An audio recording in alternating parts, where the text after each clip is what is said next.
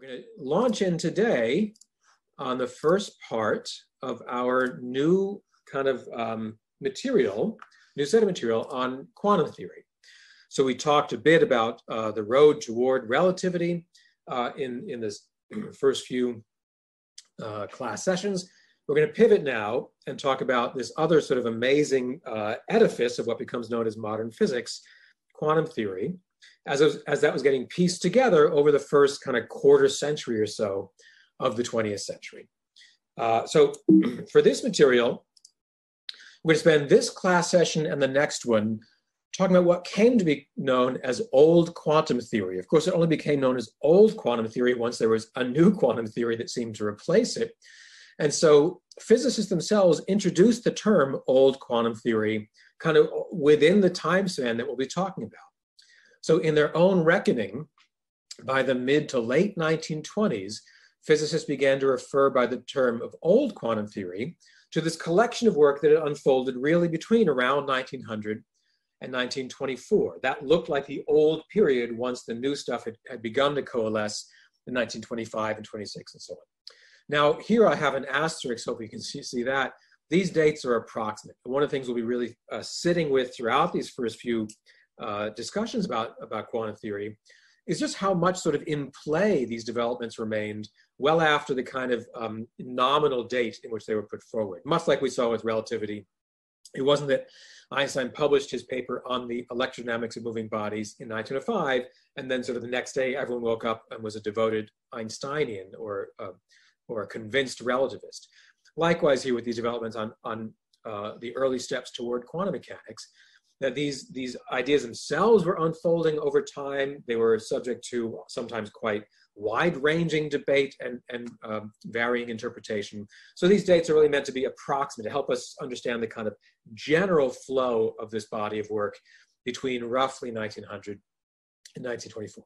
So I, I find it helpful to divide up that first period of roughly 25 years or so into a set of developments in which physicists began rethinking the nature of light. That's what we'll talk about today. So today's rethinking light. And they're really kind of interwoven with those developments, as we'll see in our next class session, were a series of uh, kind of equally surprising developments uh, in which physicists were rethinking the nature of matter. They didn't always make, make that division so clear at the time, but again, with a bit of hindsight, once the newer work began to coalesce, what we now call quantum mechanics, this kind of division of the strands within old quantum theory made a bit more sense. Uh, and again, just a reminder for today, it's thoroughly optional as always, but for those who might be interested in having a bit more time, I did post some additional lecture notes on the Canvas site.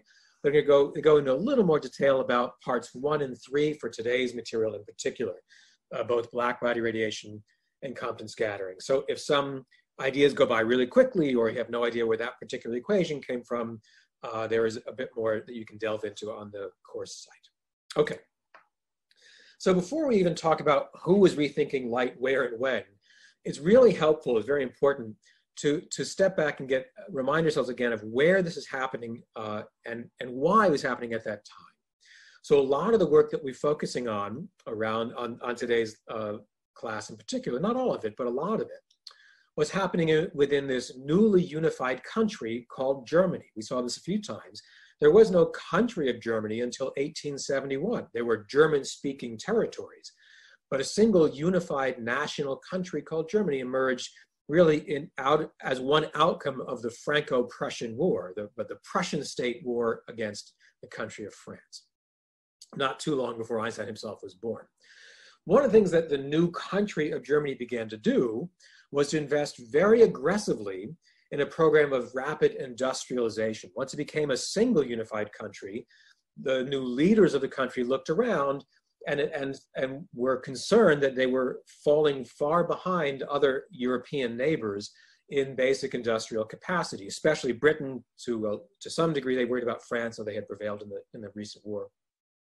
So the country begins investing quite a lot in, in industrialization, and that often meant investing in science and technology, or what we would now call science and engineering. So a few years into this new, new country's life, its existence, the leaders put together a new kind of institute, not just new to Germany, kind of new even across Europe, a specially designed government funded institute called the Physikalische Technische Reichsanstalt, which is fun to say. We can just call it by its initials, the PTR. That really stood for the Imperial or the kind of German National Physical Technical Institute, the PTR. The idea was that this new kind of space, this new institution, should foster several kinds of research and try to get them kind of talking together to really help jumpstart what the country's leaders hoped would be this, uh, this uh, very rapid uh, pace of industrialization. So the PTR was designed on purpose to foster research into basic science, into uh, kind of curiosity-driven research in physics and chemistry and related areas, but also uh, also support work in applied research and industrial development. So it was pretty similar to what would soon be developed in the United States. It was originally called the US Bureau of Standards. Now you might know it by the name the National Institute of Standards and Technology, or NIST, which has several kind of national laboratory sites throughout the US. The PTR was in that mold. It was really forming that mold. Government sponsored uh, to try to, to, to encourage certain kinds of research, both in basic sciences and uh, industrial applications. One of the earliest pressing priorities for this new institute was to evaluate competing proposals for, thing, for public works projects like large-scale electric street lighting. Some of you may know the incandescent light bulb, electric light bulbs, were actually quite new. People think about people like Thomas Edison and others in the United States, similar work going on uh, elsewhere. And one of the earliest efforts was to put this new kind of technology, an incandescent light bulb, an electric light bulb, into use in kind of public spaces. Imagine the difference for city life, for commerce, for, uh, for, for communities in general, if cities weren't pitch dark uh, just as soon as the sun went down. Now, of course, there were many, many competing ideas about how to do that, how to do it efficiently, how to make the right kinds of bulbs that could uh, give out a lot of light uh, hope, with hopefully not too much power usage and so on. And so one of the first questions that this new PTR had to wrestle with was how to compare these competing proposals for things like electric street lighting. What they were asking about is how can you measure the amount of light that comes out from these very hot uh, filaments in these electric bulbs? Now, people had known for a long, long, long time, long before the PTR, humans had known that when materials are heated up to a sufficiently high temperature, they'll begin to glow. They'll give off some kind of radiation, some light think about very casual observations like uh, embers glowing in a fireplace or charcoals on a grill, or now tragically the, the photographs we see from these horrific uh, you know, forest fires out in California and, and uh, up and down the West Coast. When you heat stuff up to a high enough temperature, it will give off light, it will glow. Uh, and in fact, the color of the emitted light shifts with the temperature to which the object has been heated. So the colors, the main frequencies of light that dominate that glow will shift uh, with temperature. And that was, again, something that was known kind of casually long before there was a PTR.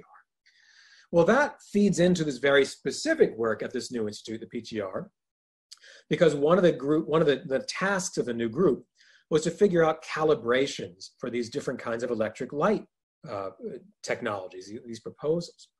And what the PTR researchers began to notice was it looked like there was a kind of universal or shared pattern in the kind of light, in the pattern of light that came out from various objects when they were heated to high temperatures. And they thought it was universal because it looked like the pattern of light, how much light came out at which particular colors, seemed to depend only on the temperature to which those materials have been heated, but not on the mechan- on the material kind of chemical makeup of the materials themselves. Different kinds of filaments, for example, even if they were made up from entirely different uh, atoms and molecules, would glow with the same kind of pattern once they were heated to a sufficiently high temperature. At least it looked uh, like that might be the case in these early tests to calibrate these different kinds of electric light fixtures and so on. So these researchers began to postulate that there was some ideal so-called black body. The idea was imagine an object that absorbed all the light that fell upon it and reflected none back. So it would appear to our eyes to be black. It would reflect no light at all. We'd see it as emitting, uh, reflecting no light at all. So, so you want to sort of Im, Im remove any accidents of the kind of light that might have shone on it and concentrate on the light being emitted by this so-called black body when you heat that object up to a high temperature. And it shouldn't have mattered whether the black body was actually made of wood or charcoal or anything else. If it really is a universal glow, that you can imagine this idealized kind of otherwise unspecified kind of object, a black body. And therefore, this when you heat this object, this mysterious or hypothetical object up to a sufficiently high temperature, the pattern of light that would be emitted uh, should tell you something about, about universal properties, not the accidental features of this or that chemical material. So this universal black body spectrum, or at least the hypothesis there might be this universal behavior, that seemed interesting for at least two reasons of exactly the kinds of things that this, this new PTR had been set up um, to, to foster. This could be really useful for calibrations and standardization. Take any new um, electric light fixture or, or similar device, you should now have a universal standard against which one could measure its own light output. What pattern of light would come out uh, from, say, this or that filament, because now you have a, a universal standard uh, with which to compare it. And it also suggested this might tell us something deeply fundamental and very basic about the interactions between light and matter. It shouldn't matter whether you're talking about this kind of material for filament or that kind. This tells us perhaps something very universal about light and matter at, its, at their core. So these researchers at this newly uh, generously funded uh, Physikalische Reichsanstalt, the PTR, they began conducting more and more sensitive experiments on the pattern of light, what became known as the spectrum of light, that was emitted from these black bodies over the course of the 1880s and 1890s, soon after the PTR itself had been founded. And they began finding curves that look like this. Now, in the early data, this is an example of, of real published data from the PTR researchers, Lummer and Pringsheim. They often would plot the spectrum, the amount of energy that came out as one varied the wavelength of light. Uh, typically, these days, we tend to characterize in terms of the frequency, but remember, that's an easy choice, a trade off. Uh, we can always relate the frequency of the light that comes out, nu, we'll use the Greek letter nu, that's inversely proportional to the wavelength, like in these data here. And the constant of proportionality is just given by the speed at which those light waves are traveling, the speed of light. So let's look at this curve uh, U. U is a certain kind of quantity called a spectral energy density. That's kind of a mouthful. And again, I go through this in some more details in the uh, optional lecture notes. What this curve, what these curves are showing is the amount of energy per unit volume in, in some region of space per frequency. So how much light gets shown out in the form of, uh, how much energy gets shown out in the form of radiation in some box of fixed size within per unit volume as you vary the color of the light. And so this suggests you get a certain amount of energy radiated for one color as you vary the frequency of the light. A different amount of energy comes out, in this case, more energy as you go to a higher frequency, different color, and so on. And what it was, uh, what, what the researchers kept finding was that the nature of this curve depended only on the temperature to which the objects have been heated, but not the material composition of those objects. This universal feature became more and more evident as they conducted more and more tests. And so this is a plot now showing the, the form of this uh, spectral energy density for three different temperatures. It varies only with temperature. Let's consider a relatively low temperature here, some medium temperature, and some high temperature already we see the trend becomes pretty clear. As you raise the temperature to which you've heated that black body, that object, the amount of energy that's radiated grows, so you get more and more energy coming out. The, the area under this curve of the blue one is much larger than the area under the, either of the other curves. Total energy output uh, with the intensity increases with temperature. And the peak frequency, the frequency at which, uh, which most energy gets emitted uh, in the form of light, that also shifts to higher and higher frequency. So at a relatively low temperature, the highest, the peak frequency is a kind of reddish color. As you uh, increase the temperature, it shifts uh, through the spectrum uh, to orange and ultimately to the blue end. So you have this pattern emerging.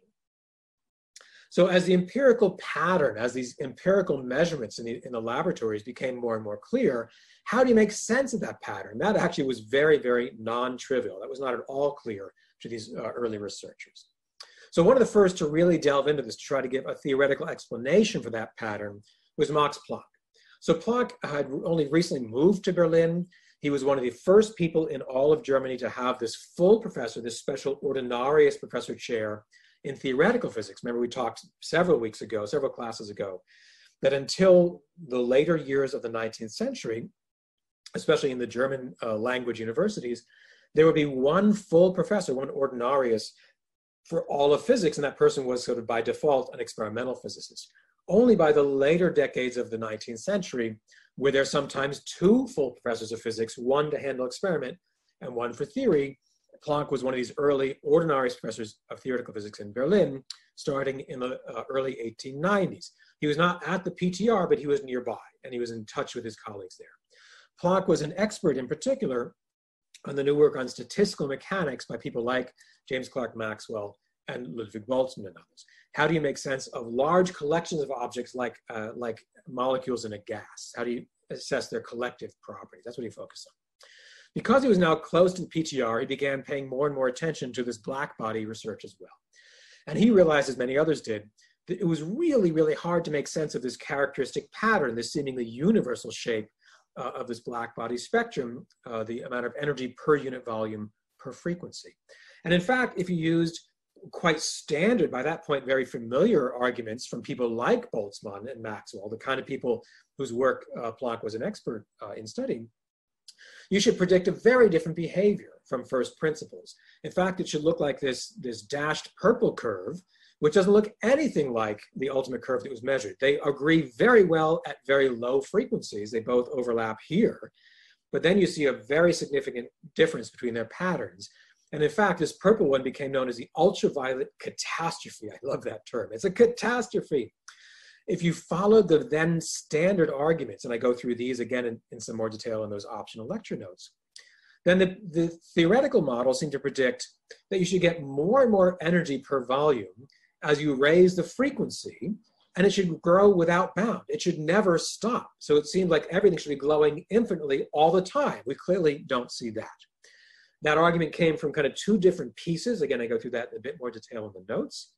But the high level summary is that according to, uh, to work by people like Maxwell and Boltzmann, very well established by, by the time uh, Planck began to worry about this stuff, in thermal equilibrium, very generally, it had been argued, each degree of freedom, each way that these um, either, either uh, light waves or little bits of matter in that black body, each of these things should, should share a kind of average um, energy proportional to the temperature to which the object had been heated. And with a proportionality known as a constant known as K, we now call that Boltzmann's constant. This was known as the equipartition theorem, that each way in which the system could kind of wiggle or move, each so-called degree of freedom, should be uh, should have an equal average energy. That's step one. Step two, using Maxwell's treatment of light, of electromagnetic radiation, you, you the argument was that this um, the number of radiation modes, degrees of freedom per unit volume, per frequency should go like nu squared. Combine those together, you get this uh, expectation that the that the spectral energy density U should grow quadratically, grow as a square of the frequency without bound. It should rise without limit. So everything should be glowing all the time, giving off infinite energy. That clearly is not what we see. So Planck, as I say, had special access to these to his colleagues doing these experiments sort of in real time. He knew better, better than anyone that the real curves looked nothing like this, this art, this sort of uh, constantly growing curve of the ultraviolet catastrophe. Everyone knew that these curves must begin to fall with increasing frequency Planck had an extra uh, insight or extra information, not just that the curve should fall, but how it should fall, the, the, the actual shape of that curve, like this part here, basically, actually this part here in, in wavelength. How should that curve begin to fall as you go to shorter and shorter wavelengths or higher and higher frequencies? So he began to tinker. And in fact, very famously on a particular date, December 14th, 1900, he presented a paper to his colleagues at a physics society meeting in which he presented this form for, uh, for the, this spectral energy density, that it should rise not as nu squared, like that uh, ultraviolet catastrophe, but in fact should have this a bit more complicated structure. And this was really interesting because it would match very well that both the, the arguments from people like Boltzmann uh, and Maxwell in, in one region of the graph for, sorry, for very uh, low frequencies, very long wavelengths. So over here on this real data, over here on this plot, it converges to the, to the original expectation, but then it kind of has this natural turnaround so that at higher frequencies, at shorter wavelengths, in fact, you should have this gently decaying tail, this exponential tail. Both of those features are contained in this one expression as you take the appropriate limits. He also had to introduce this new constant, h, which had not been introduced before, we now call it Planck's constant. That was at least in part to make his units match. The quantity kT has units of energy. T is a temperature, K Boltzmann constant, together form units of energy. Nu here is the frequency, one over time, like one over seconds, hertz. So that doesn't have the same units as energy. So he added this, this uh, extra kind of fudge called H to make sure the units would match and also to try to begin to match the actual quantitative shape uh, for, of the data from his colleagues. So in this treatment, at the very closing days of the year 1900, Planck introduced not only a new form for the spectral energy density, and again, there's more on that, on, on that in those lecture notes, he also introduces this new universal constant we now call Planck's constant. It's this number, h, just a constant, that really sets the scale for these departures based on the calculations we would make from Newton's physics or even Maxwell's equations. How much do these newer ideas of what becomes known as quantum theory, how much should they depart? Or when should we expect a deviation? And Planck's value that he inferred from his colleagues' uh, measurements at the PTR was actually remarkably close to the modern value we use to this day. Here's a modern value. Planck's inferred value was pretty close. In units that are familiar for kind of macroscopic everyday human activities, the so-called CGS system, where we measure distances in centimeters, masses in grams, and times in seconds, that's where the CGS comes from. Energy, as you may recall, is given this unit of an erg, which really is just one gram uh, centimeter squared per second squared in those CGS units, H is incredibly small. It's exponentially tiny in those natural units for kind of human scaled affairs. So H is small. If we consider, for example, drop a single grape from a height of five centimeters, roughly two inches, and then ask what's the kinetic energy that grape will acquire over that very short journey, let the grape fall from rest a total of five centimeters, multiply its acquired kinetic energy times the duration during which it was falling, roughly a second or so. And you get an enormous amount of energy times time if we measure in this Planck, uh, in, in these Planck units. So just that tiny little grape falling for about one second from roughly two inches high has 10 to the 28 of Planck units of energy time. Some of you might know that this, this particular combination of units, an energy times a time unit, erg seconds, is also the units in, in, which we measure things like angular momentum. What's the momentum of this sort of circular motion? So again, let's take a kind of household example. Uh, instead of dropping a grape, imagine some really annoying housefly it kind of buzzing around your head at some radius of you know a couple centimeters from your head. Super annoying. What's the angular momentum of that tiny little fly as it just buzzes kind of lazily around your head? Again, it will have angular momentum exponentially large if we were to measure it in units of these of Planck's constant, again, around 10 to the 28th. So this is not a scale in which we expect to find strange quantum features in our everyday life, grapes, houseflies, automobiles, and so on. And yet Planck could only make sense of that PTR data if he introduced this new scale, this new constant, very different from human experience and yet not zero, some finite value, even if it's small in our human terms. Now, one of the readings you had for today was by uh, the historian Thomas Kuhn. Kuhn wrote a really fascinating book. Here's, here's the book cover, and, and the uh, kind of uh, article version that you had uh, draws on the same body of work. and I find this super fascinating. So we know that Planck published that formula, the one that I showed before, uh, where the frequency should go like nu cubed over e to the h nu over kt minus one. This we now call that the Planck spectrum. We use it all the time. We know exactly when he wrote it down and published it.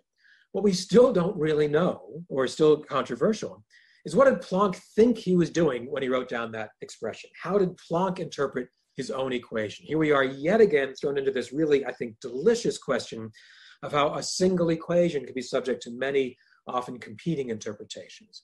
And Kuhn was among the first to try to argue, in particular, that Planck's own routes to that now very famous equation looked nothing like what we, how we interpreted the result. So when we derive Planck's expression, like for example in my own notes or any textbook you might you might look it up in a modern textbook, we say we get Planck's result for that form for this spectral energy density by making a new conceptual leap by requiring that the energy exchanged between matter and radiation can't take any old value. It can't be 6 or 6.001 or 6.002 in appropriate units, but has to come chunked, has to come quantized, in these units of a particular size, Planck's constant h times the frequency of the light involved. Rather than, than treating the sort of energy exchange between matter and radiation as continuous, the way we would if we were describing light, for example, as Maxwellian waves. It shouldn't matter what the frequency is of that wave. We know how to calculate the energy associated with any process. And there should be no limit, no chunking or quantization. So Kuhn was asking very, very directly, did Max Planck think that's what he was doing in around 1900 when he introduced what we now call Planck's formula? And so just to give the highlight of, of Kuhn's article, it's a complicated article. If it was confusing, that's okay. I want to talk through what I consider the kind of headline news, the main takeaways from Kuhn's argument. It's a very complicated argument. Here's what I consider the biggest revelations.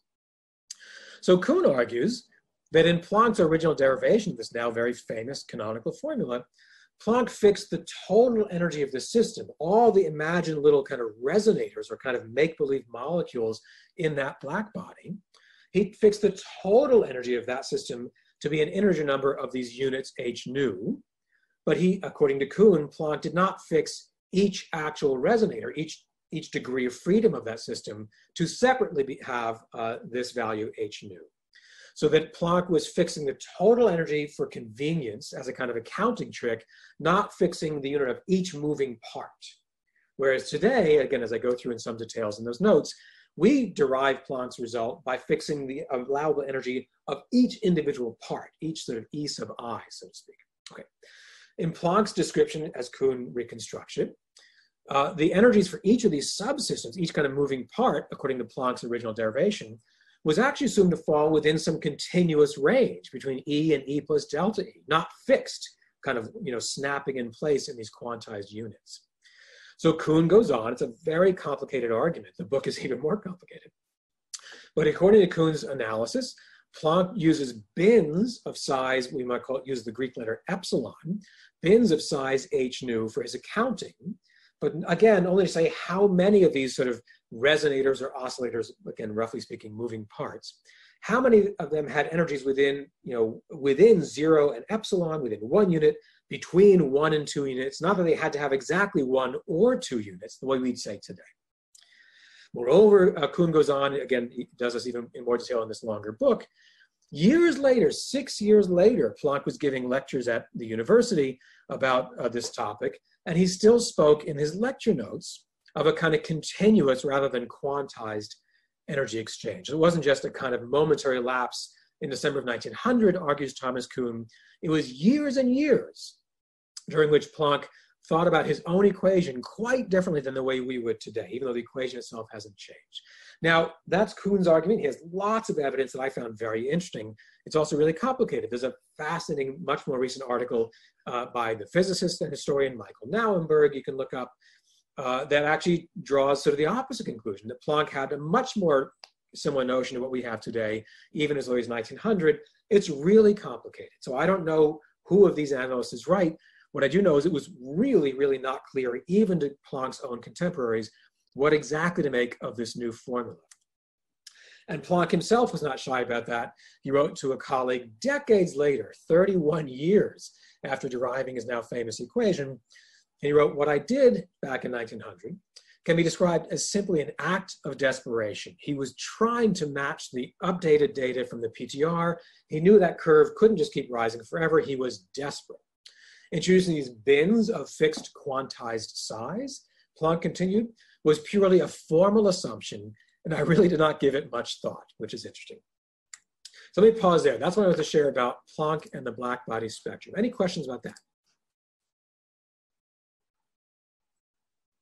Uh, Jade asked a good question in the chat. How do they measure the spectral energy density? Very good.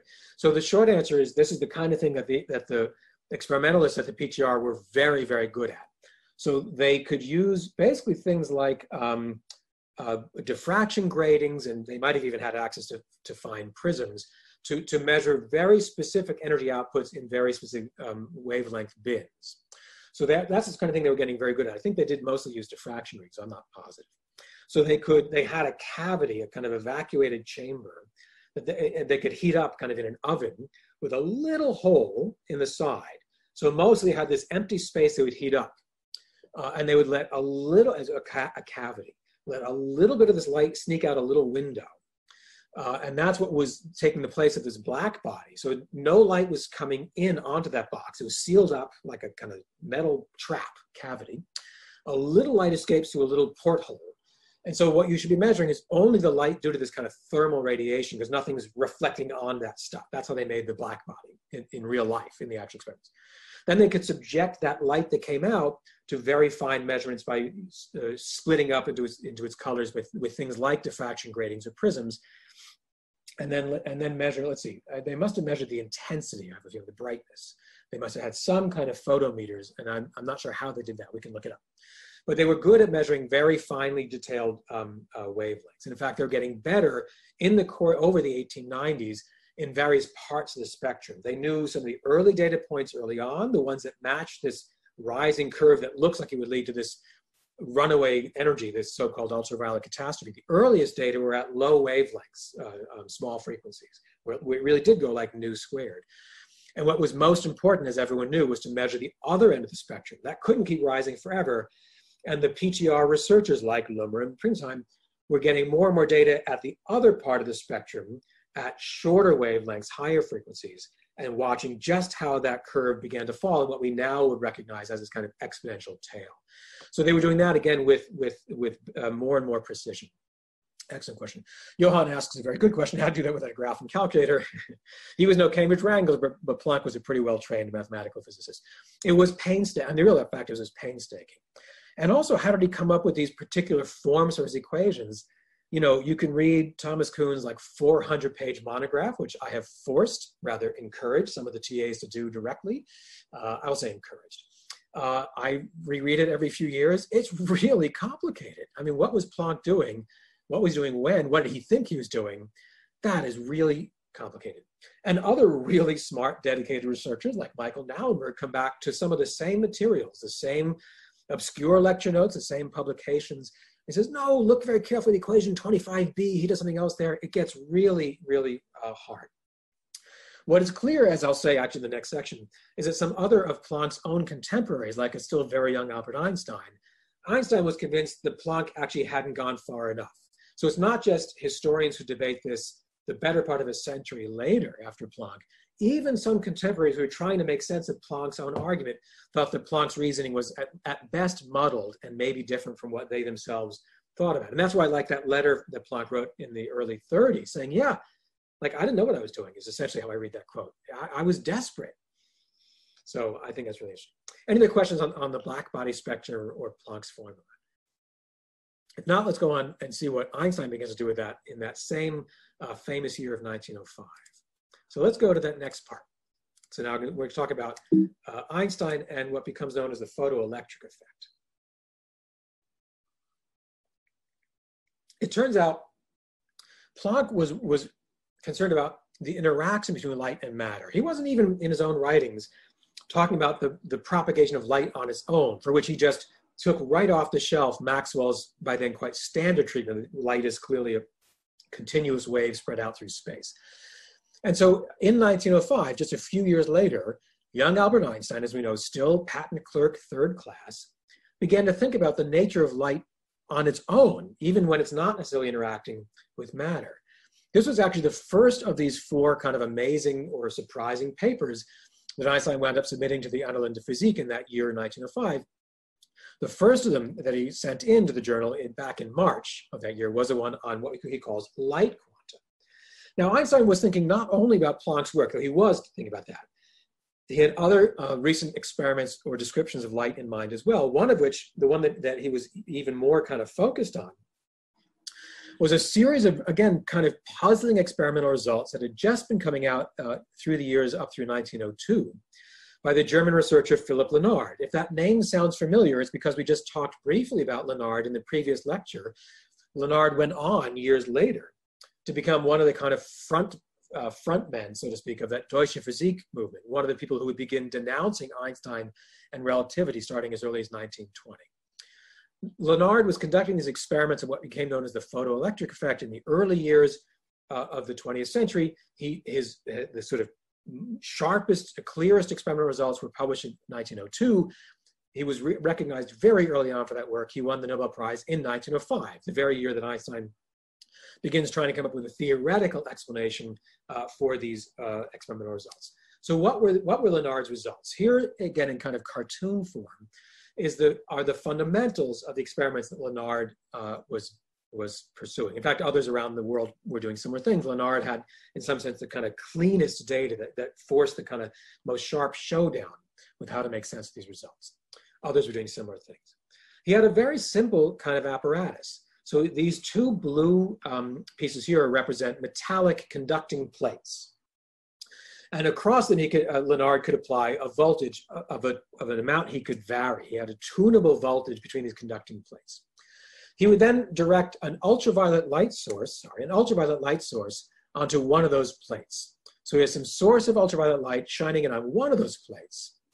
And under certain conditions, the light source, when it irradiates that plate, would eject, would kick out some electrons.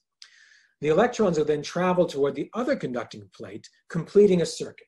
So when the light kicked out electrons, ejected electrons from this um, so-called cathode, from that metal conducting plate, you could complete a circuit because the electrons would now travel through the intervening space and hit this plate, and you'd know you had electric current flowing because he hooked up an ammeter, a measurer of electric current. So he knew he had current flowing. He knew electrons had been kicked out of the metal when the ammeter measured an electric current. And then he could use this tunable voltage. He could change the amount of voltage applied to basically ask how much energy were those electrons kicked out with by asking how strong a voltage he had to tune up to block their passage. So we, when he, when he um, applied basically no voltage, the electrons would, would uh, come across the plate and complete the circuit. So how much kind of countervailing voltage would Lenard have to apply to block their passage, a kind of repulsive for, electric force to basically repel the electrons away from reaching this far plate. So when will the current stop? Then he knows what's called the stopping voltage. And that tells him exactly how much energy the electrons had because he had to counteract that much energy, that much sort of electrostatic force to, to turn off that current. So now he could start comparing the stopping voltage, which for him is a measure of the energy with which these electrons are ejected. So he can compare the energy of the electrons with the frequency of this light source. He shines light of certain frequencies within the ultraviolet range onto this metallic plate, and he measures the amount of energy of the ejected electrons. And again, in a kind of cleaned up form, the data started looking like this. They had a very specific, very striking shape. So on a plot of the energy of the ejected electrons versus the frequency of the incident light, the energy of electrons seem to rise linearly, but only above some threshold frequency. So as the light was tuned to lower and lower frequencies, the light that's being shown from this source, there'd be no uh, electrons ejected at all. There would be zero electrons ejected, no energy crossing that gap. After you reach some very specific threshold frequency of the light, you start kicking electrons out. As you increase the frequency of that light, the energy that the electrons carry rises. The energy of the electrons seem to rise only with, seem to depend only with the frequency of that light, not with the intensity. You can make this a brighter or less bright light source, holding the frequency fixed, and that had no impact on the stopping voltage, on the amount of energy required to stop those electrons from traversing that, that gap. That seemed pretty strange. Why was that so strange? Why was it strange to have a threshold frequency, and why was it strange to have the energy of the electrons independent of the intensity of that light, depending only on the frequency of the light?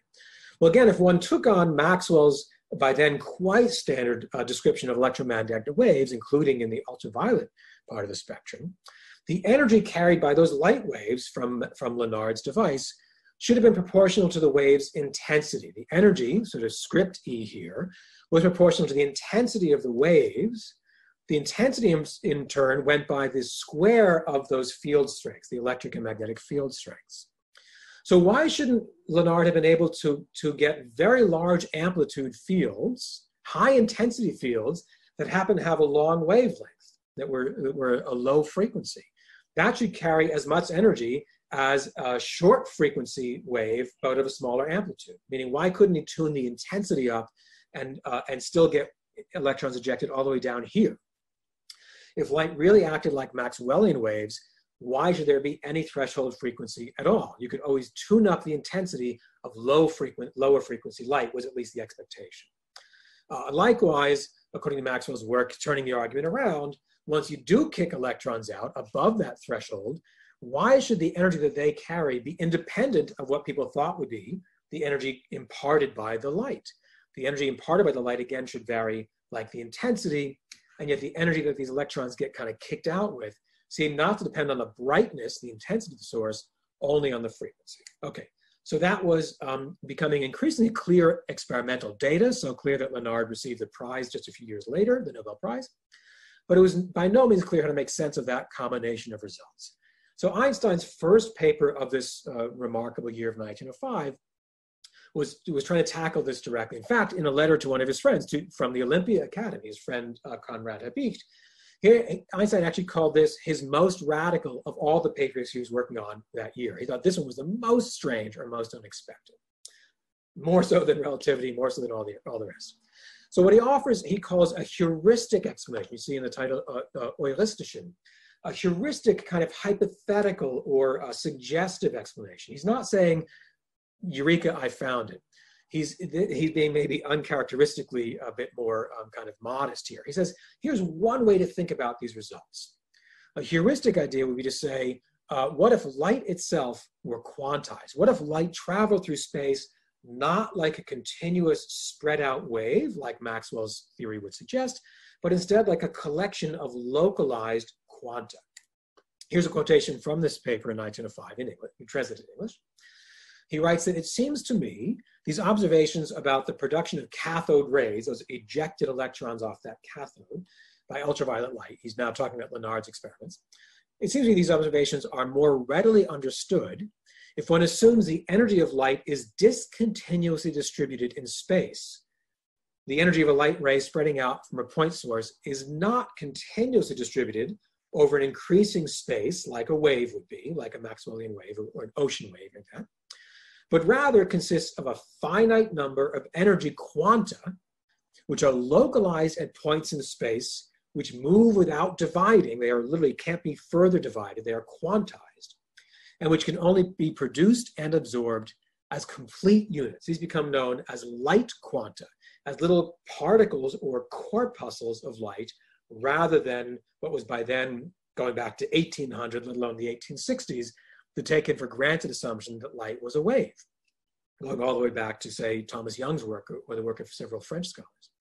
So Einstein is suggesting heuristically, he's not saying this must be the case, he's saying it's suggestive and, and worth, worth considering, that experiments like Lenard's might make sense if we change entirely everything we know about light. So why would that help? Let's go back to this kind of cartoon version of Lenard's data. Einstein was in fact following Lenard's experiments, uh, the publications quite closely, much, much more closely than anything like the Michelson Morley experiment. He really was looking up Lenard's papers and looking at the graphs and, and tables very carefully. Einstein recognized that it wasn't only a linear relationship between the energy of those elect ejected electrons and the frequency of the incident light, but the slope in particular looked awfully close to this new value that had just been introduced in a totally different context by Max Planck. The slope of this plot looked very much like Planck's constant h. That's something that Einstein begins to recognize by going carefully over these experimental results. So that leads Einstein to think in the following way. What if each of these discrete little bundles of light energy, what if each individual light quantum carried a fixed amount of energy proportional to the frequency of light, with the constant of proportionality being this new constant introduced by Max Planck. What if light quanta, these indivisible pellets of light, had to carry a fixed quantized amount of energy, not some continuous range uh, that could have been any old value? If that's the case, then you have on this photocathode, on this conducting plate in Lenard's experiment, you have raining down on it pellets and pellets, each carrying a fixed amount of, of energy, h nu. So then you can imagine an individual light quantum, not some spread out wave, an individual particle basically smacking into an into individual electron. Now it looks like colliding billiard balls. So how will the energy of the electron change after it gets smacked by a discrete pellet of energy, a light quantum with energy h nu? The electron should acquire a predictable amount of energy. It should absorb that energy carried by the light quantum, and it will, and yet there will be some uh, some extra energy kind of holding that electron bound to its uh, atoms and molecules in the metal. That became known as the work function. That's kind of like the binding energy. These aren't free electrons in, in space. These are electrons bound to a piece of metal. There's some intermolecular or atomic forces, whatever they are, and they might vary by material. There's some function that was often called uh, by the Greek letter capital phi, again, a kind of binding energy. And so the electron won't be kicked out of that piece of metal unless the energy it absorbs from that uh, discrete light quantum exceeds that binding energy. The energy holding it in place has to be overcome or exceeded by the light, uh, by the energy transferred by that light quantum. If that's the case, then of course there should be a threshold frequency. Only when each individual quantum of light, each little pellet, discrete carrier of energy in that incoming light, uh, carries enough energy individually to overcome that binding energy or the work function, only then would any electrons be ejected from that piece of metal. So the threshold frequency should depend on that binding energy, that work function, divided by Planck's constant. Basically, what's the threshold that would set this energy exactly to zero, as opposed to it having a negative energy, which is say it's bound in place. So you just solve for when does the electron just cross that threshold, its energy? Ah, it's when nu equals phi over h. That would, that would give you the threshold. Any additional energy, any higher energy carried by light quanta, as you tune the frequency of the incident light higher and higher, each electron will, will absorb more energy than that threshold, and it will continue to grow linearly with slope h. So the idea that Einstein puts together is heuristic idea, suggestive idea in this 1905 paper is that the light shining on this metal plate is not some extended continuous wave kind of lapping up on shore like a Maxwellian wave, but actually a shower of discrete marbles, each of which could collide like two body collisions, like billiard balls on a, on a billiard table or you know, on pool table. They would have two body collisions, each of which can then impart certain energy uh, to, to, their, to their colliding electrons. So I like to think of it this way. Imagine electrons are like a, a bucket full of ping pong balls. So ordinarily they're bound in place. That's like that work function. The ping pong balls aren't free to move any old place. They're stuck. They have a certain kind of binding energy. Think of that as like that work function phi. Then you start chucking marbles at it. You imagine like flinging marbles into that bucket. If the marbles individually carry enough energy, they're going to collide with individual ping pong balls. And if they're in, if the marble's incoming energy is more than this binding energy holding the, the ping pong balls in the bucket, you'll kick a few out. That's the picture that Einstein has in mind. In that same, actually quite long article, this very same article in 1905, Einstein also revisits Planck's derivation of the black body formula, that, that function that we called uh, the spectral energy density, little u. And he rederives Planck's formula, assuming that the radiation being emitted from that cavity radiation could be treated like a gas of these individual particles, each of which has a, a quantized energy E equals h nu. This is the modern derivation that we uh, inherit and use today. That's much more like the derivation I give in those brief optional notes. So in the same article, Einstein both kind of offers a heuristic explanation for Lenard's otherwise quite puzzling experimental results. He revis revisits and kind of reinterprets Planck's own, by now rather a well-known expression for black body radiation, all from the starting point of view that light is quantized and each individual light quantum carries a unit amount of energy set by h nu. So we might uh, figure, okay, he solved everything. Everyone must have been convinced, right? No, no, no. We've learned from this course already, things hardly, hardly ever work that way. And in Einstein's case in particular, remember he was still a little known patent clerk, kind of out of the, of the main elite centers of research, this was facing enormous skepticism, even years after Einstein himself became much more prominent. It was really more than 15 years uh, until the majority of, of uh, members of the physics community really took this idea at all seriously. And here's, a, again, one of my favorite examples of that. Here's our, again, our old friend, Max Planck, writing, this is a letter of recommendation. He's trying to say how great Einstein's work is by 1913. Now, Einstein is no longer the unknown patent clerk. Planck was trying to convince his colleagues to offer a very prestigious new job to Einstein at the Prussian Academy of Sciences, which in fact Einstein would, would soon be offered. He would move to Berlin. And in his letter saying how great Einstein's work is, Planck says the following. In sum, one can say there is hardly one among the great problems in which modern physics is so rich, to which Einstein has not made a remarkable contribution. That sounds nice. That he may sometimes have missed the target in his speculations, as for example, in his hypothesis of light quanta, cannot really be held too much against him, which is to say, a lot of the work this person's done is very interesting. He's clearly mistaken about light quanta, but let's let him into our new club anyway. I find that terrific. Okay, let me pause there again and ask any questions on the light quantum work.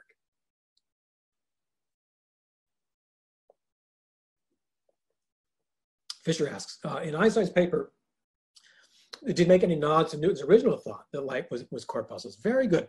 Honestly, I don't remember. That's an excellent question. Let me back up. Others might know as well, but it's worth emphasizing. The, the big picture question, it, does light consist of waves or particles? That actually has a really long history. I guess I gave a little preview of that, although I didn't linger on it. Even in, in one of our first uh, class sessions for this class, you might know from other readings or other classes.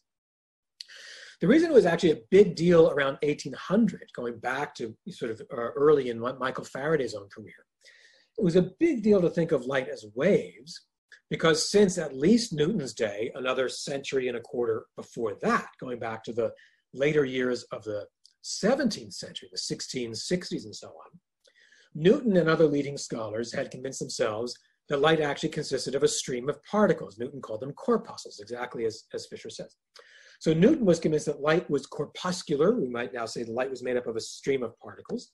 That's in 1660s, 70s, 80s, uh, would become super influential. He writes a whole book called Opticks, Newton does, first published around 1703 or something like that. I was like, okay, Newton has spoken, light's particles, got it.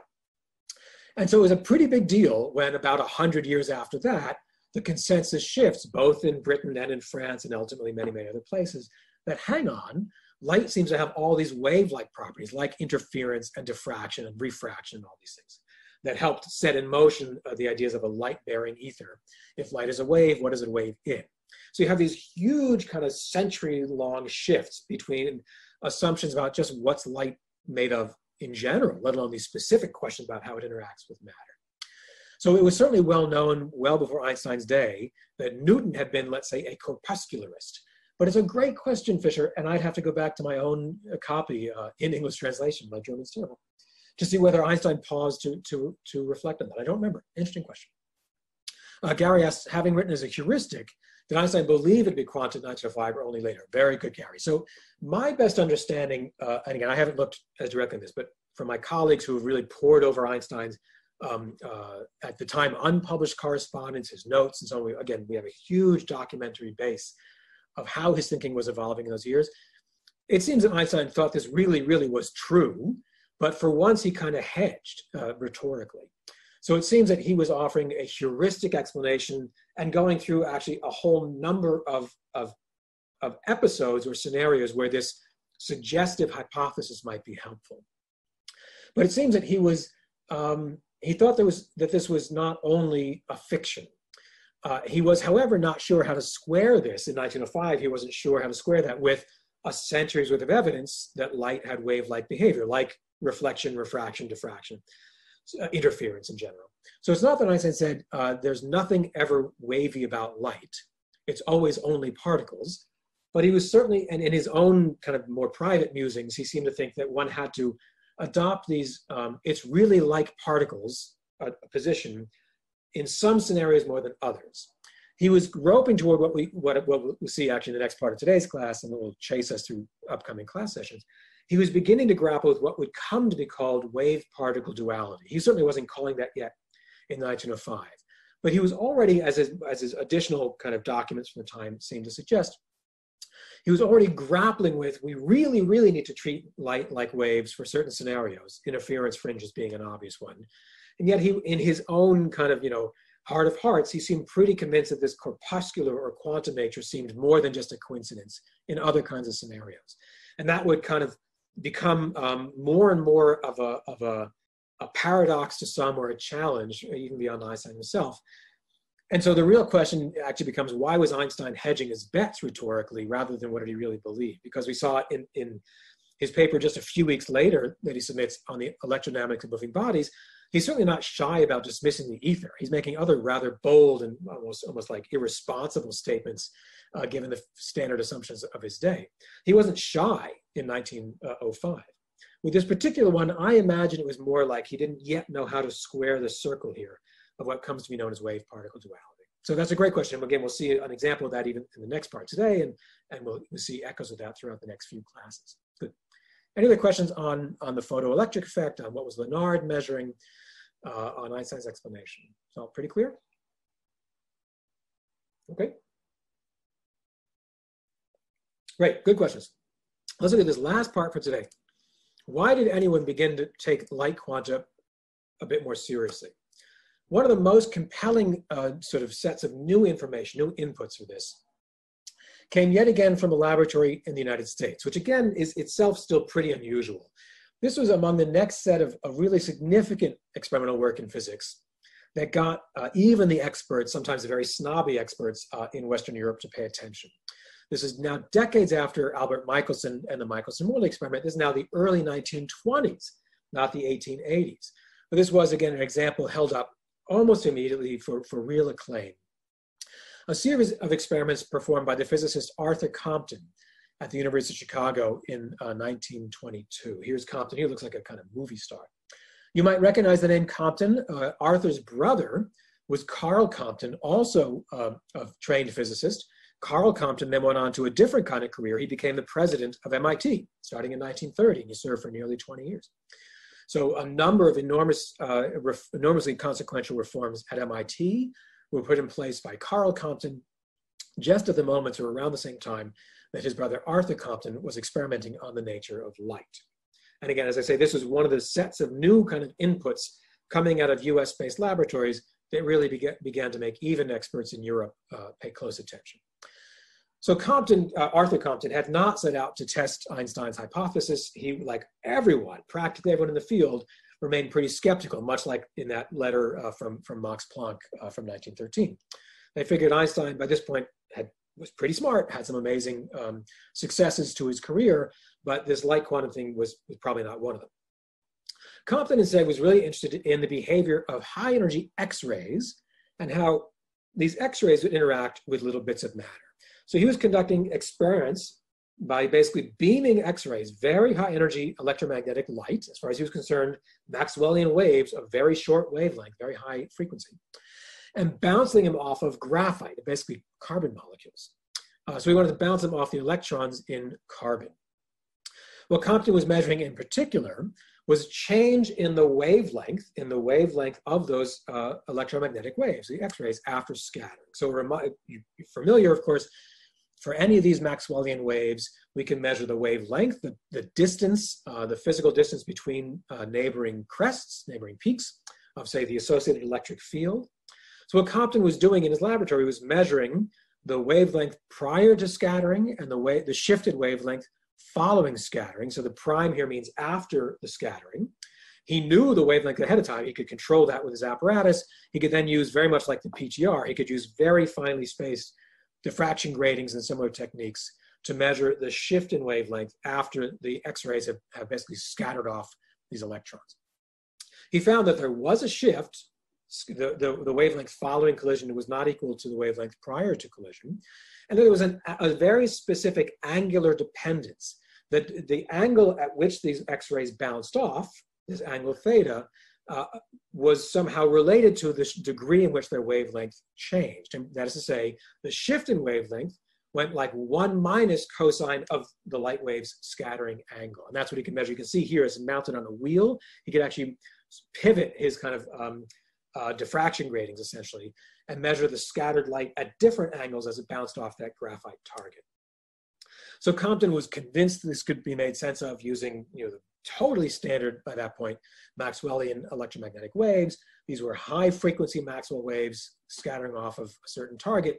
And yet try and try and try as he might, he could not come up with any sensible explanation or accounting for this empirical relationship when he kept finding, conducting the experiment, measuring more and more carefully the shift in frequency with, uh, with the scattered angle, he couldn't come up with any kind of theoretical explanation that would account for that shift until, in yet another kind of act of desperation, much like Max Planck, he then kind of grudgingly tries on, takes on this Einsteinian hypothesis or heuristic suggestion.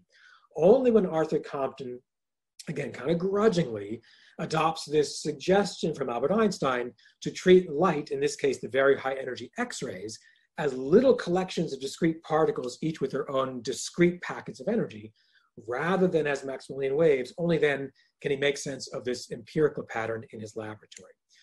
So uh, here's the diagram from his actual published article in the Physical Review. It was submitted in the very closing days of calendar year 1922. It was published uh, spring of 23. Uh, so here's the actual illustration from his article. And again, in the in the accompanying um, optional lecture notes, I go through the, the, the, the algebra a bit more um, slowly. So I'm going to kind of show you where he gets. Don't worry if, if some of these steps are hard to do in your head. They're hard for me to do in my head. Take your time if you'd like and go through the, the, the, uh, the algebra in the notes. So what, what Compton winds up doing is treating the interaction between the incoming X-ray, that's what's here, he now, by the published version, has uh, decided to call this incident light quantum. He's already now, now borrowing Einstein's ideas. It's not where he started. Pardon me. So here's the incoming X-ray. and how would you characterize the energy or the momentum of that, of that incoming source of light? That's what Compton starts with, before collision.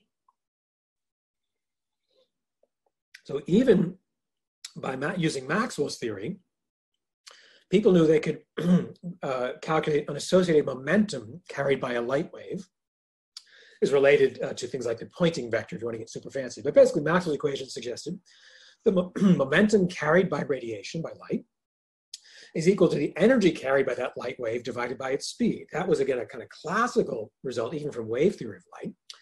And now Compton starts adding in this new heuristic stuff from Einstein. What if each individual light quantum, and now I'll be a little anachronistic and just use the term photon. That's not the term that Compton used. It gets introduced soon after Compton's results. So by the 19, within the 1920s, it had already become common to use the term photon, as we still do today, to describe these light quantum. So now let's take on Einstein's suggestion that each individual photon of light carries a quantized amount of energy proportional to its frequency. Then let's use the usual relation for any wave between frequency and wavelength with the constant of proportionality, the speed. So now you can come back to this sort of Maxwellian expression for the momentum carried by a classical light wave, kind of add in this new Einstein-like quantum thing, and come up with an expression for the momentum carried by each individual photon or light quantum. And that would be the energy divided by its speed, h over lambda. Remember, that's not where Compton starts, that's where he gets out of desperation. So now Compton has an expression for both the momentum and the energy of this light quantum prior to scattering. He's going to treat this, as I say, like a two-body problem, as if these were two billiard balls, rather than like a wave scattering off of a little chunk of matter. So prior to the collision, he's going to say this electron over here, this target, this little dot here, is just sitting there at rest. Its momentum is zero. It has no velocity and it has some rest energy, mc squared. Remember, by 1922, Einstein's work on relativity was indeed much more better known and uh, seemed to have passed a number of tests.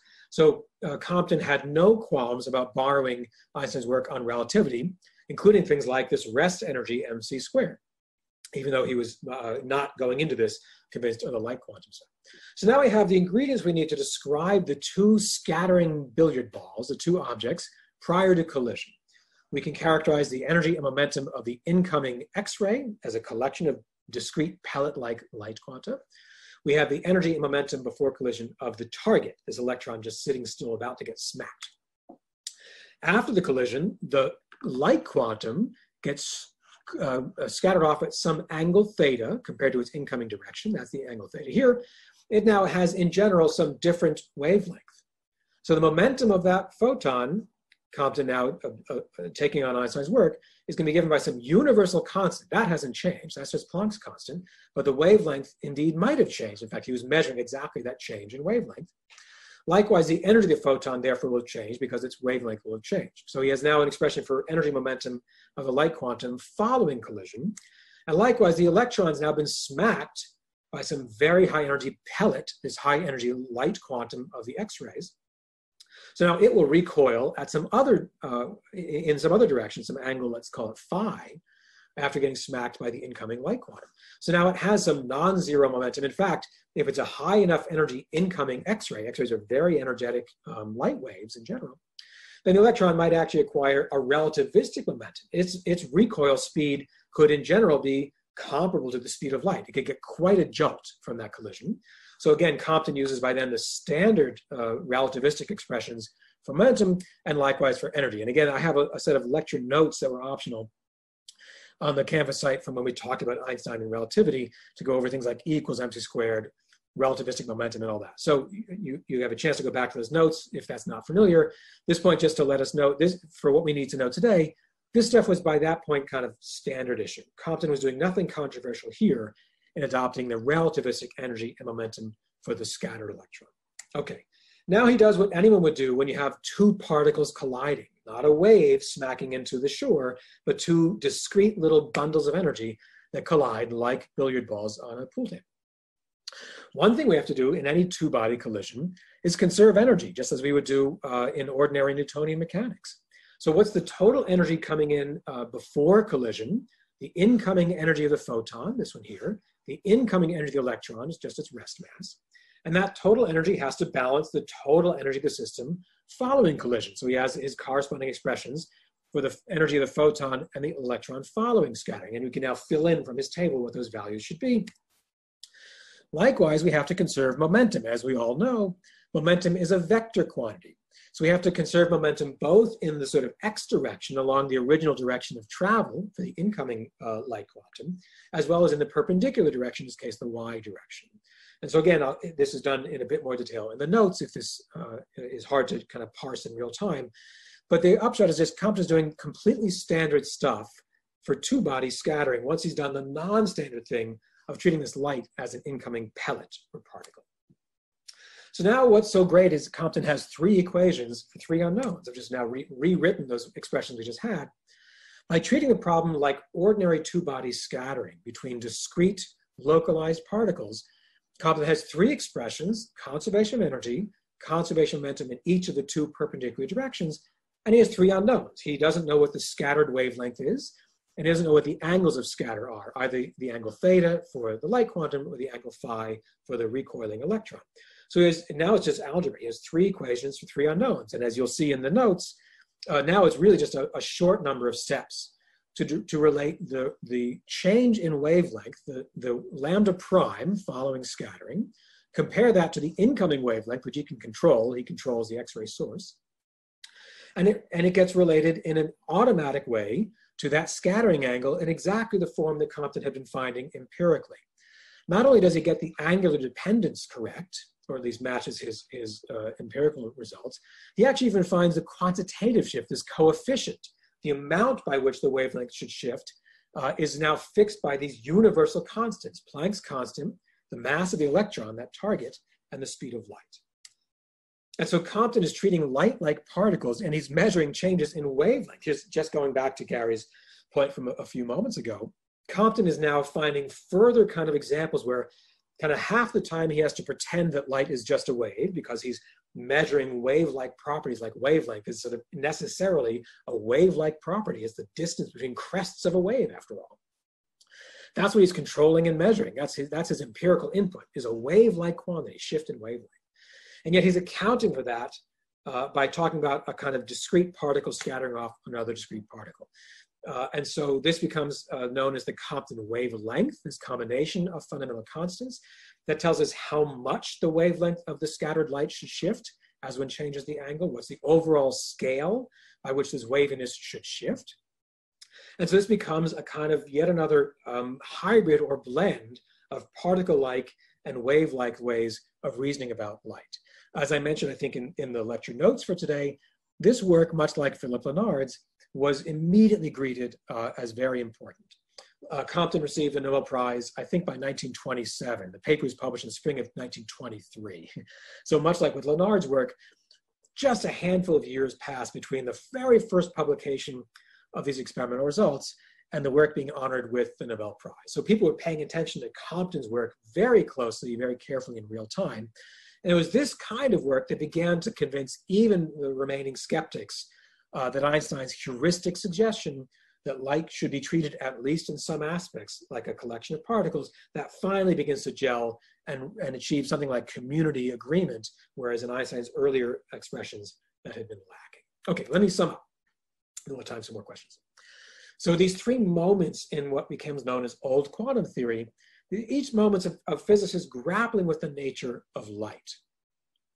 Uh, and remember, this is not happening kind of in a vacuum. To begin to understand why anyone cared at all, let alone invested with such priority in these particular experiments, uh, that really does go back to kind of larger framing of a newly independent country of Germany, uh, decisions by its leadership to invest in industrialization, to make new kinds of places like the PTR and so on.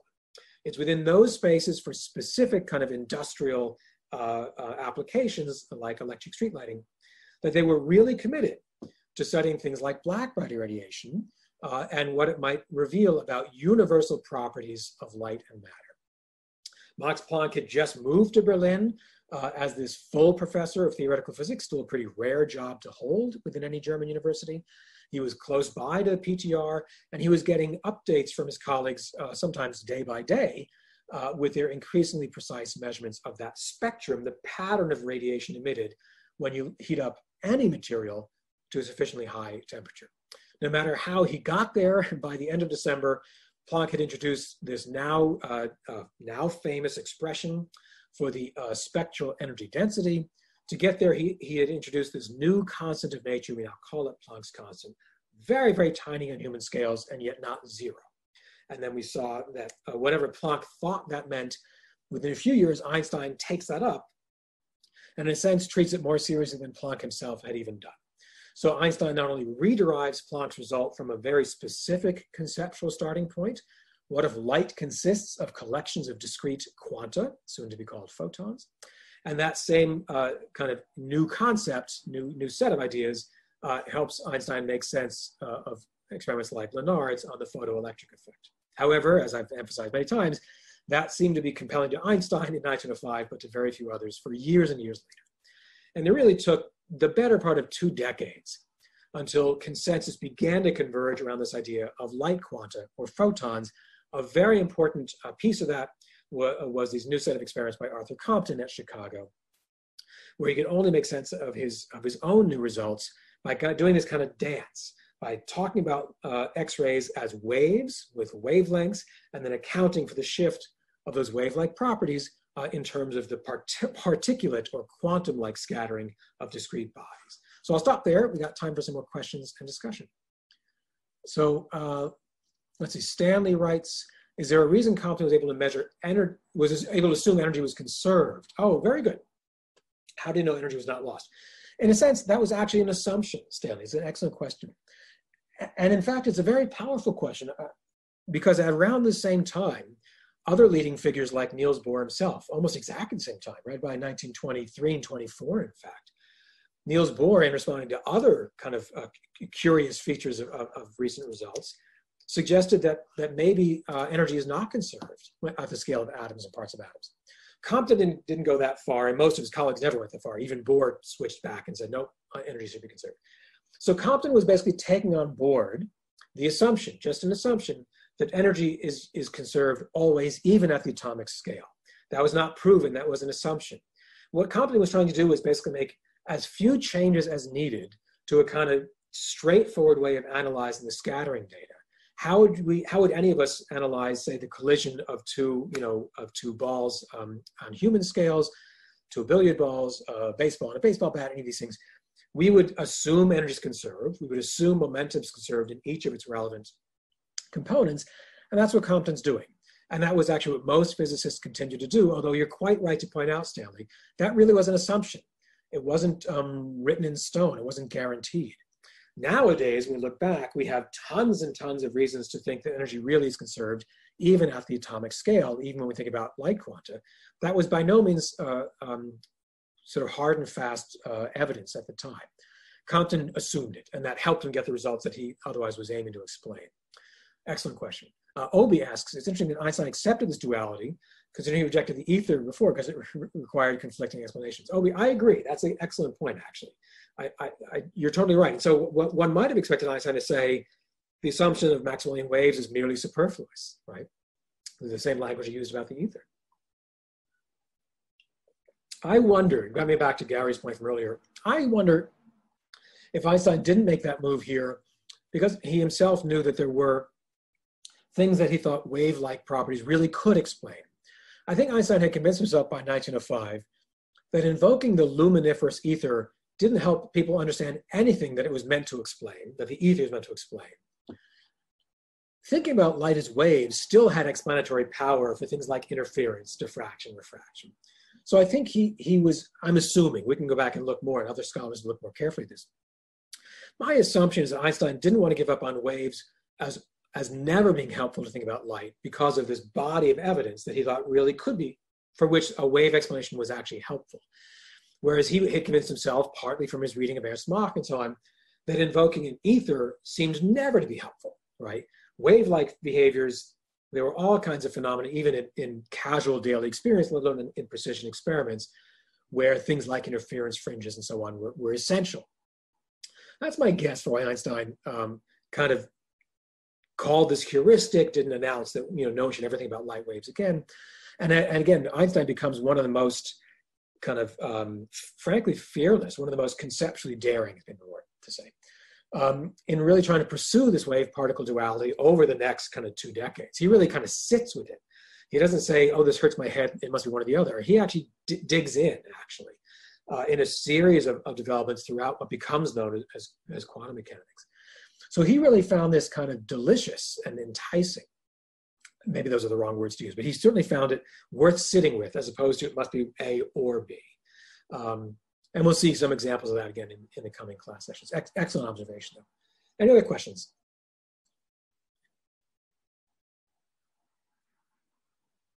Since I have three minutes, I'll share the following. Uh, one of the things that was done by not Arthur Compton, but by Karl Compton, soon after he became president in 1930, president of MIT, and this is for all you physics majors, and my apologies to every other engineering major. You know who you are. Compton decided that MIT become too closely aligned to both engineering and industry. He thought, as Compton's own words, that MIT had sold its soul to industrialists. And so it was time for MIT to redouble on the basic sciences. It was at this time, starting in 1930, when Compton, Karl Compton, put into a, a reform that every single undergraduate at MIT had to take two whole years of physics you little wimps, kidding, just kidding, you wonderful students only have to take one year of physics because MIT relented in 1965. For 35 years, Karl Compton's vision held, and literally every, every MA2 student, whether they were management majors at the Sloan School, I'm looking at Gary, or you know, economics majors or history or, or um, mathematics, had to take two years of physics. It wasn't quite the Cambridge Wranglers, but we had to two years because Karl Compton, the physicist, was convinced that we had to have a whole new emphasis on, on the so-called basic sciences. It's at this time when the laboratory requirements start coming in for uh, biology and chemistry and mathematics. it was only uh, 35 years later in the mid-1960s when some, um, some colleagues, long after uh, Karl Compton stepped down, said, maybe that's too much physics for every single student. Uh, and honestly, when I started teaching at MIT in 2000, some of my then rather senior colleagues still remembered 1965 and thought everything had gone downhill since then. Those people have since retired. But like MIT's never been the same in their point of view since we gave up forcing slash inviting every single undergraduate to take two whole years of physics. So that's one of the legacies of Karl Compton, not Arthur Compton. Um, it's true, Alex puts in the chat, weren't the problem sets originally questions from industry? Many of them were, in fact, if not problem sets, then certainly research projects. There was a kind of um, research for hire program, which, which never really ended, but was, was a very high focus at MIT starting soon after the First World War, after in the years right after uh, 1918. It was called the MIT Plan or the Tech Plan. And roughly 12 to 15 years into that, there was a kind of correction, course correction, and people like Karl Compton said we have to re rejigger that. Fisher says, I assume this requirement naturally only applied to physics and not about, no, that's right. Fisher's exactly right. So the requirement of two years of physics coursework applied only to physics for every single undergraduate. And grudgingly, if you had to take chemistry or biology, fine, no, that was required. You had to take laboratories. You had to take at least one year of mathematics. So we can recognize parts of our so-called GIRs to this day survive from Karl Compton's era, even though critically, the one horrible moral lapse, according to some of my colleagues, was dropping the two years of physics in, in place of only one. I leave you with that thought. Uh, I invite you all to take more than one year of physics. I think many of you have been anyway because you're physics majors. That's Karl Compton We'll actually talk more about Karl Compton and MIT in the coming weeks when we talk about MIT in the Second World War and radar. We'll hear Karl Compton's name again soon. In the meantime, we'll pause and sit with Arthur Compton's results, uh, for which, again, there's more of the algebra in, in, those notes if, if that went by too quickly. Any other questions uh, about this material? Anyone wish that everyone had to take two years of physics or any other comments on, on today's class? If not, I'll leave it there. I'll wish you good luck wrapping up uh, your paper one draft. Please don't forget, let's do this Friday. Uh, and uh, we'll pick up the story of old quantum theory again with our next class. Thanks so much, gang. Stay well.